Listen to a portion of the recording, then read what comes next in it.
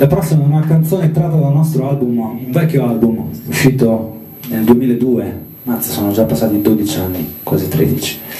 Si chiamava Crime Stories questo album e, e questa è una canzone un po' strana che parla di un serial killer, una figura che sta tornando abbastanza di moda. Questa canzone è stata una Marvelous Song.